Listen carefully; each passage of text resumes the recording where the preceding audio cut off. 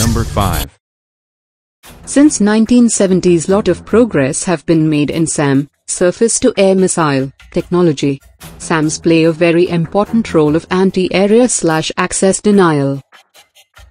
Any area defended by a modern SAM, like S-400, is very hard to penetrate, even by the most technologically advanced aircrafts. These systems are also economically more viable, as a missile costing $0.2 to $0.8 million can take out a 30 to $50 million plane. To defeat these systems, a new category of air-to-land missile have been developed, they are designated as anti-radiation missile, ARM. They are commonly carried by special aircrafts in, SEAD role. Currently only a handful of countries, like the US, Germany, Russia and Brazil have built this kind of missile. Number 4. All SAM need radars for targeting. ARM are designed to pick up signals or radiations from radars and communication facilities, and then target them leading to their eventual destruction. The primary purpose of this type of missile is to degrade adversaries' air defenses in the first period of a conflict in order to increase the chances of survival for the following waves of strike aircraft.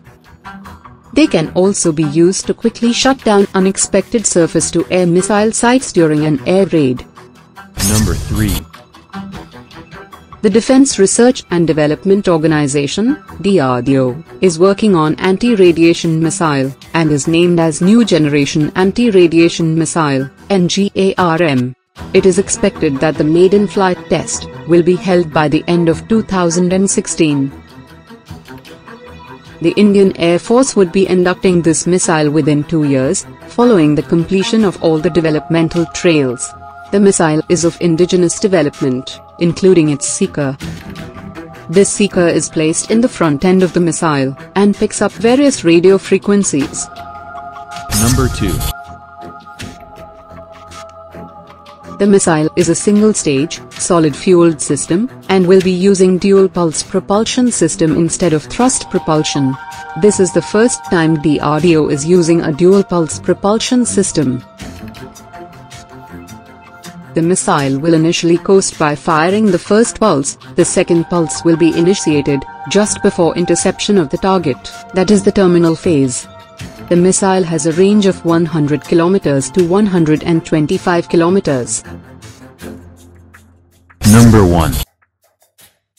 The missile will be mounted on India's frontline air superiority fighter the Sukhoi Su-30 MKI, and the indigenous multi-role fighter, HAL LCA.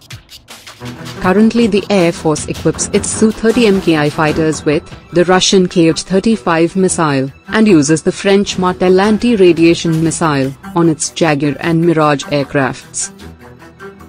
The Air Force is negotiating to buy AGM-88 missiles from the US, and plans to induct more than 1,500 in the next five years.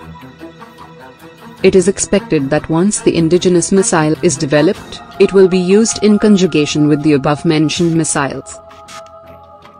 Thanks for watching. Subscribe for more videos like this. Hit the like button if you find the video interesting. Kindly provide your feedback in the comment section, this will help us improve.